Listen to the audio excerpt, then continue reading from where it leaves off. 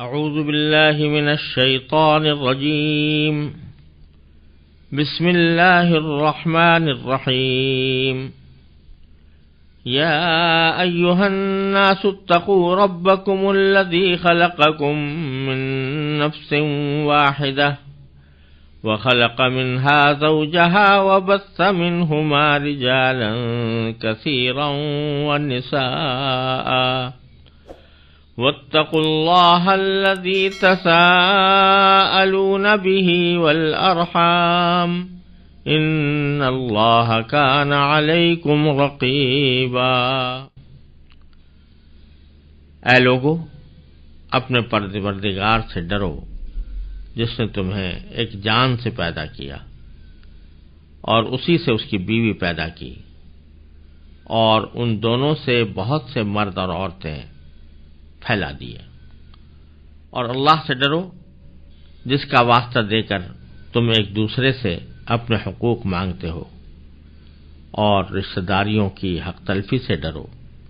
यकीन रखो कि अल्लाह तुम्हारी निगरानी कर रहा है।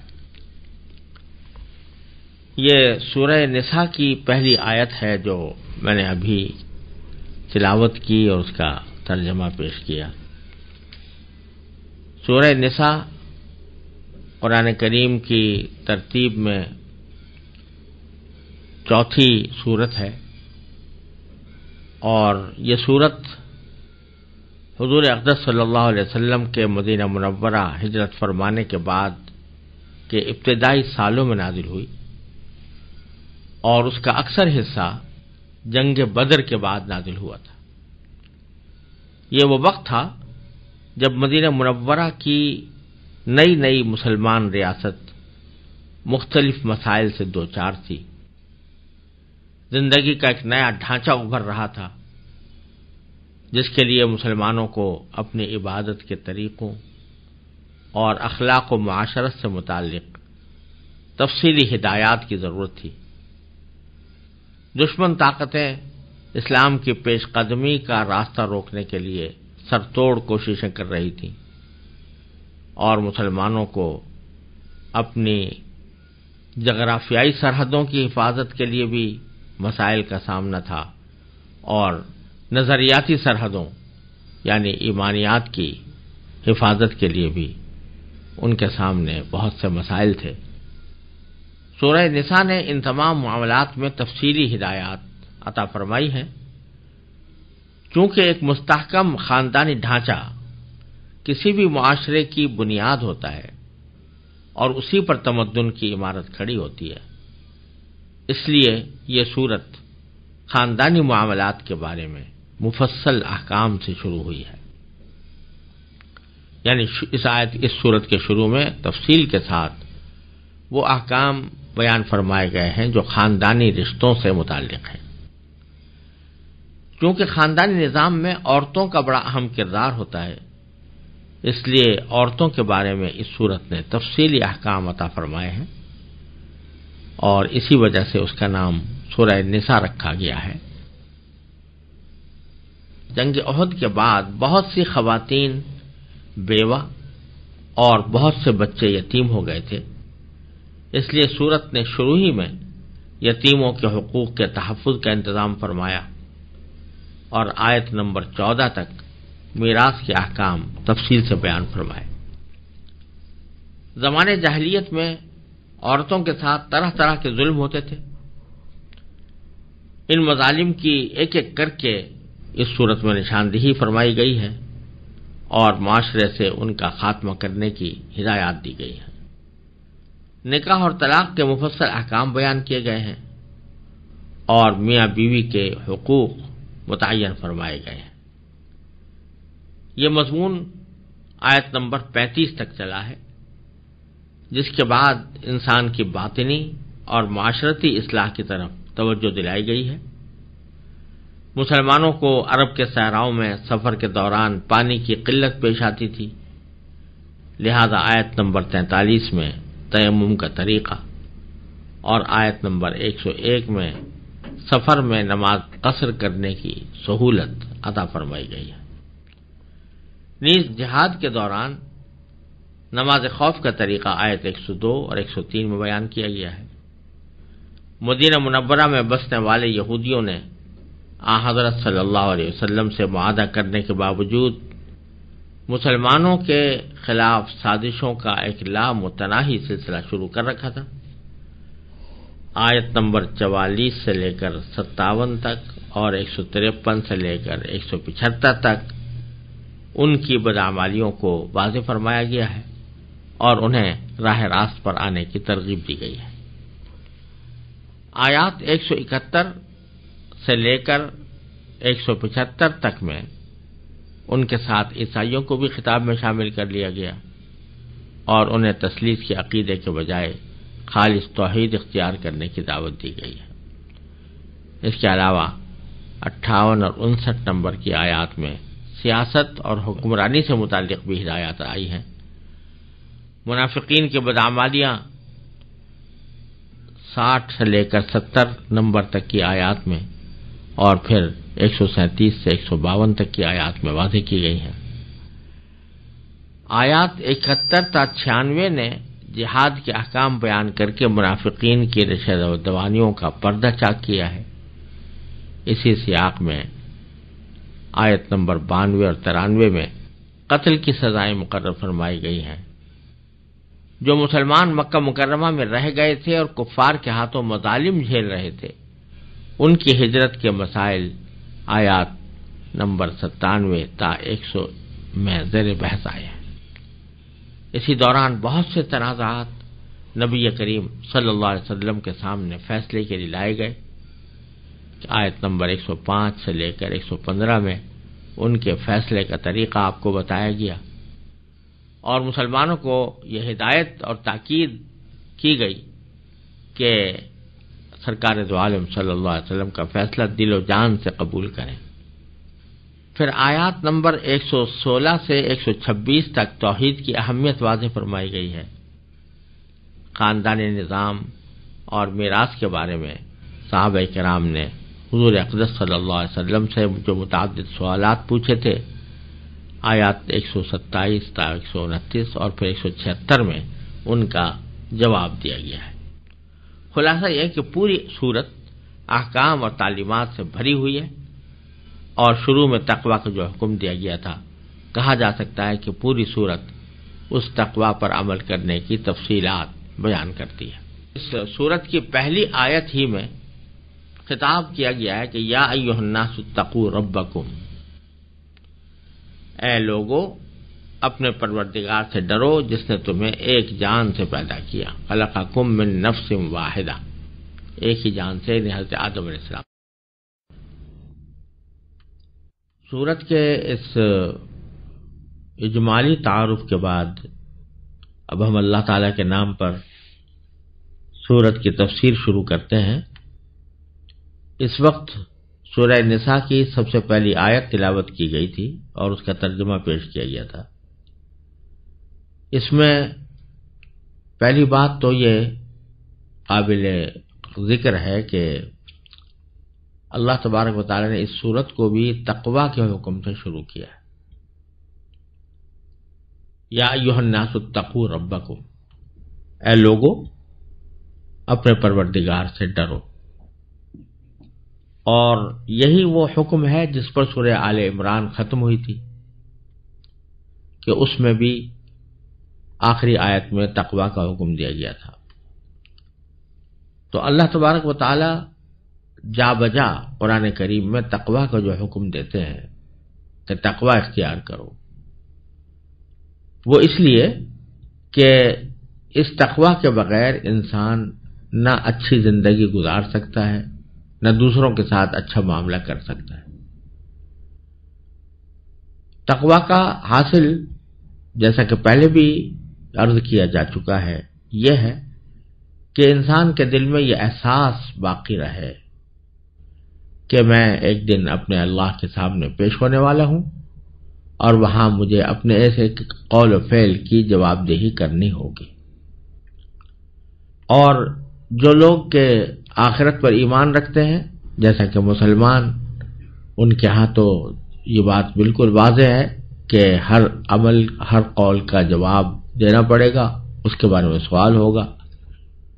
और अगर सवाब सही दिया तो ठीक, वरना फिर सजा का सामना करना पड़ेगा।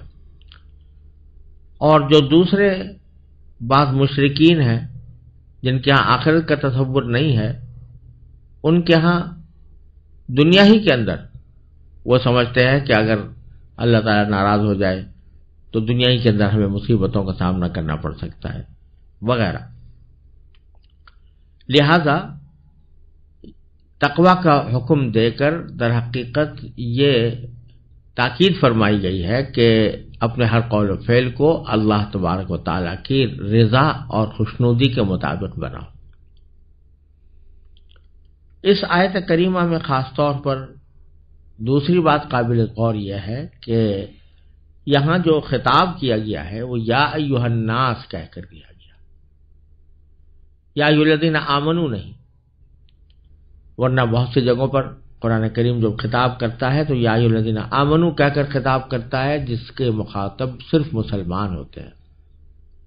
लेकिन यहाँ या युह नास फरमाया गया। ए लोगो, और बज़ाहिर उसकी वजह यह है कि आगे जो हुक्म दिया जा रहा है, जिसके लिए सूर्य निसा की इब्तदाई आयात खास तौर पर मुकर्र फरमाई गई है, वो खानदानी निज़ाम से मुतालिक है। खानदानी निज़ाम में मुख्तलिफ़ रिश्तेदारों के आपस में एक दूसरे के ऊपर जो हक होते हैं, उनकी पासदारी का हुक्म दिया गया है और एक दूसरे के साथ अच्छे सलूक का हुक्म दिया गया है। यह हुक्म ऐसा है कि इंसानियत की फलाह बहबूद के लिए ज़रूरी है, सारी इंसानियत की। अगर ख़ानदानी निज़ाम दुरुस्त है, रिश्तेदारों के ताल्लुक अच्छे हैं तो एक अच्छे माशरे की बुनियाद पड़ जाती है। और अगर खुदा न करे रिश्तेदारों के ताल्लुक ख़राब हैं, उनके दरमियान ताल्लुक अच्छे नहीं हैं तो फिर पूरे माशरे के ऊपर उसके बुरे असरात मुरतब होते हैं। तो इसलिए यहाँ पर खिताब सिर्फ़ मुसलमानों से नहीं, बल्कि आम इंसानों से किया गया है। कि तुम अगर भला चाहते हो कि कम अज कम अपनी ज़िंदगी, दुनियावी ज़िंदगी के माशरती हालात को दुरुस्त करो तो फिर अल्लाह से डरो और अल्लाह से डरते हुए इन अहकाम पर अमल करो। फिर इसमें एक और नुकता ये भी है कि आगे जो फरमाया गया कि तुम डरो अपने परवरदिगार से, उसके बारे में फरमाया, अल्लाजी खलका कुम नफ्स वाहिदा. वो परवरदिगार जिसने तुमको एक ही जान से पैदा किया। और एक ही जान से मुराद है हज़रत आदम सलाम। कि सबसे पहले अल्लाह ताला ने हज़रत आदम सलाम को पैदा किया था। बाद में फिर उन्हीं से सारी दुनिया की नस्ल चली। तो इशारा इसकी तरफ़ हो रहा है कि हमने एक जान से पैदा किया था वखला का मिनहा जहा और उसी जान से हमने उनकी बीवी भी पैदा की, यानी हज़रत हवा व बस्सा मिनहुमा रिजालन कसीरम व निसा और इन दोनों से हमने बहुत से मर्द और औरतें दुनिया में फैला दी तो इशारा इस बात की तरफ़ फरमाया जा रहा है कि अगर गौर से देखा जाए तो तमाम इंसान आपस में रिश्तेदार है। क्योंकि सबका बाप एक, आखिर में जाकर सबका बाप एक है, सबकी माँ एक है। हज़रत आदम सलाम सबके जद्द अमजद है। हज़रत हवा सबकी जद शरीफा है। तो इस लिहाज से जब सब एक ही दादा और दादी की औलाद हैं तो रिश्ते तो सब में मौजूद है। और जब रिश्ते मौजूद हैं तो फिर उनको चाहिए कि आपस में उन रिश्तेदारियों का ख्याल करते हुए एक दूसरे के हकूक का पास करें और एक दूसरे का ख्याल रखें, एक दूसरे के साथ उसने सलूक करें। इसलिए अल्लाह तबारक वाली ने तमाम इंसानों को खिताब किया। ए तमाम इंसानों, उस परवरदिगार से डरो कि जिसने तुम्हें एक ही जान से पैदा किया और उसी से उसकी बीवी पैदा की, उन्हीं दोनों से सारी इंसानियत को दुनिया में फैला दिया। तो अब तुम्हारे आपस में ताल्लुकात होने चाहिए। और ताल्लुकात अच्छे होने चाहिए, क्योंकि तुम सब बिल आखिर एक ही बाप और माँ की औलाद हो। आगे फरमाया, वत्तकुल्लाह अल्लदी तसा बिही। उस अल्लाह से डरो, जिसका वास्ता देकर तुम एक दूसरे से अपने हकूक मांगते हो। यह इशारा इस तरफ़ हो रहा है कि जब दुनिया में लोग एक दूसरे से अपने हकूक का मुतालबा करते हैं तो बकसरत इस कस्म के जुमले कहते हैं कि खुदा के वास्ते मुझे मेरा हक दे दो, खुदा के वास्ते मेरा फला काम कर दो। तो ये खुदा का वास्ता देकर तुम अपना हक मांगते हो दूसरों से। तो जिस खुदा का वास्ता दे रहे हो और वास्ता देकर अपना हक मांग रहे हो, उससे भी तो डरो, उससे डरो, इस बात से डरो कि तुम नाम तो उसका ले रहे हो और उसका वास्ता उसका दे रहे हो, लेकिन अगर तुम किसी गलत चीज़ का मुतालबा कर रहे हो, नाजायज काम का मुतालबा कर रहे हो, कोई नाजायज आमदनी उसके ज़रिए हासिल करना चाहते हो तो जिस खुदा का वास्ता देकर तुम ये नाजायज काम कर रहे हो, क्या वो कल तुमसे बात पुरुष नहीं करेगा कि मेरा नाम तुमने लिया था और तुमने उसके नाम को लेकर तुमने गलत इस्तेमाल किया और अपने नाजायज मफाद को उससे हासिल करने की कोशिश की।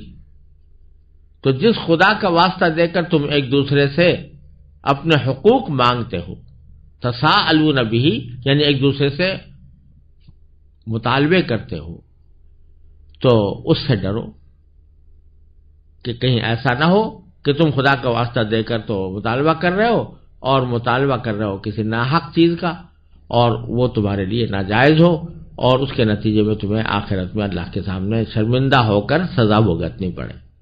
वल अरहाम, अल्लाह से डरो, जिसका वास्ता देकर तुम एक दूसरे से अपने हकूक मांगते हो, और रिश्तेदारियों की हक तलफी से डरो।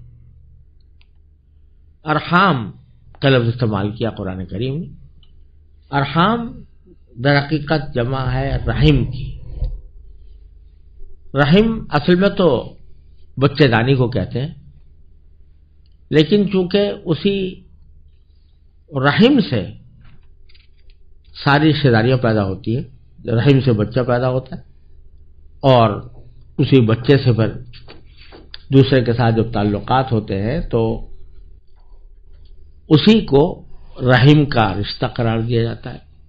चुनाच कुरान करीम में उसको दो रहीम कहते हैं दो रहीम महरम कहते हैं, उल अरहाम कहते हैं, क्योंकि उनसे आपस में रिश्तेदारियों का ताल्लुक होता है। तो बाद में अरहाम का लफ्ज मुतलक रिश्तेदारियों के लिए भी इस्तेमाल होने लगा। और चूँकि ये सारे रिश्ते रहम की बुनियाद पर वजूद में आते हैं, इसलिए रिश्तेदारों के साथ अगर अच्छा बर्ताव किया जाए तो उसको सिला रहमी कहते हैं। और अगर बुरा बर्ताव किया जाए तो कत रहमी कहते हैं। और अहादीस में सिला रहमी पर बहुत ज़ोर दिया गया है। एक हदीस में रसूल करीम सरवर तो आलम अलैहि वसल्लम का इरशाद है कि मन अहब युबसत लहू फ़ी रिज्क ही व युनसा लहू फ़ी इस, फ़ी असर ही फल यसिल यानी जिस शख्स को यह बात पसंद हो कि उसके रिज्क में कुशादगी पैदा हो और उसकी उम्र दराज हो तो उसे चाहिए कि उसे रहमी से काम ले। अपने रिश्तेदारों के साथ अच्छा बर्ताव करें। और एक हदीस में रसूल करीम सल्लल्लाहु का यह इरशाद भी मनकूल है कि या युहनास अफशुसलाम व अतमताम व सिलुल अरहाम व सल्लु बिल्लैली वन्नासुनियाम तदखुल जन्नत अभी सलाम। के तुम एक दूसरे से सलाम कसरत से किया करो। एक दूसरे को सलाम, कसरत, सलाम को रवाज दो आपस में। और अतम ताम रजाजोई के लिए लोगों को खाना खिलाया करो। वसील अरहाम, सिला रहमी किया करो। वसल्लु बिल्लैली वन्नासु नियाम, और रात को ऐसे वक्त में नमाज़ पढ़ा करो जबकि लोग सो रहे हो। और उसका नतीजा क्या होगा कि उदखुल जन्नत अभी सलाम। कि इन अमाल के नतीजे में तुम जन्नत में दाखिल हो जाओ सलामती के साथ, किसी रुकावट के बगैर। और एक हदीस में रसूल करीम सल्लल्लाहु अलैहि वसल्लम का इरशाद है कि अगर किसी आम मिस्कीन को सदका किया जाए, वो तो सदका है। और अगर किसी रिश्तेदार को किया जाए तो उसमें दो सवाब हैं, एक सदक़े का सवाब और एक सिला रहमी का सवाब। और दूसरी तरफ़ कत रहमी की बड़ी बुराई बयान फरमाई गई है और उस पर वईदें बयान की गई हैं। फरमाया लायदखुल जन्नत कात। है जो कत रहमी करे, वो जन्नत में दाखिल नहीं होगा।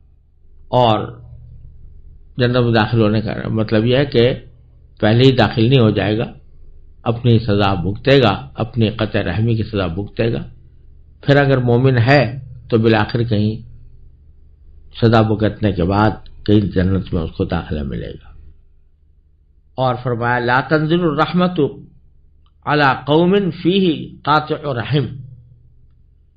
यानी उस कौम पर अल्लाह ताला की रहमत नहीं उतरती कि जिसमें कोई कत रहमी करने वाला मौजूद हो। तो ये सारी बातें के रहम के हकूक़ के जो अदायगी के ऊपर ज़ोर दिया गया है, अहादीस में वो सब इसकी तशरी है। यानी रसूल जो कुरान करीम ने फरमाया कि अल्लाह से डरो और रिश्तेदारियों की हक तलफी से डरो। और ये जो हवाला दिया ना कि एक ही जान से सबको पैदा किया गया था और उन्हीं और उनकी बीवी से पूरी इंसानियत फैला दी गई, इसमें तवज्जो इस तरफ़ दिलाई जा रही है कि तुम सब आपस में रिश्तेदार हो। लिहाजा अपनी रिश्तेदारियों का ख्याल करते हुए एक दूसरे के साथ अच्छा बर्ताव करो। फिर फरमाया कि इन अल्लाह कान अलैकुम रकीबा, यानी अल्लाह ताला तुम पर निगरान और निगहबान है, जो तुम्हारे दिलों और इरादों से भी बाखबर है। अगर रस्मी तौर पर शर्मा शर्मी या बेदिली से कोई काम भी कर दिया, मगर दिल में अल्लाह ताला की रजा जोई या इशार खिदमत का जज्बा ना हुआ तो वो काबिल कबूल नहीं है। इससे अल्लाह ताला के डरने की वजह भी मालूम हो गई कि वो सब पर हमेशा निगरा है।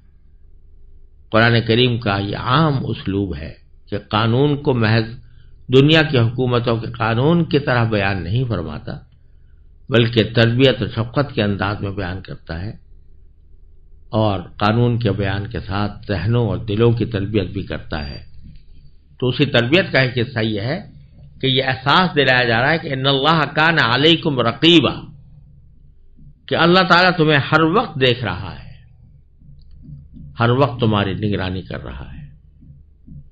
अगर यह एहसास इंसान के दिल में जागुतीन हो जाए कि मैं हर वक्त अल्लाह ताला की निगाह में हूँ, वो मुझे देख रहा है तो उसके आमाल अफाल पर इनकलाबी असरात मरतब होते हैं। सारी खराबी गफलत से होती है। हम ये बात भूल जाते हैं कि हम अल्लाह ताला की निगाह में है, अल्लाह ताला हमारी निगरानी फरमा रहा है। उसकी वजह से गुनाहों में मुबतला होते हैं। उस वजह से एक दूसरे के हकूक बर्बाद करते हैं। उसकी वजह से हम दूसरों के साथ बदसलूकी करते हैं। लेकिन अगर ये एहसास हो कि मैं हर वक्त अल्लाह की निगाह में हूँ तो उस सूरत में आदमी के सलूक में यकीनन फ़र्क आ जाएगा। इसकी एक मिसाल यूँ समझिए कि आजकल बहुत से दफातर में, इमारतों में इस तरह के कैमरे लगे हुए हैं कि जो भी आदमी उसके अंदर दाखिल हो या कोई काम करे तो वो उसकी तस्वीर आ जाती है। और कोई आदमी होता है जो उसकी निगरानी कर रहा होता है कि कौन किस तरह दाखिल हुआ। किस तरह उसने अपना काम अंजाम दिया।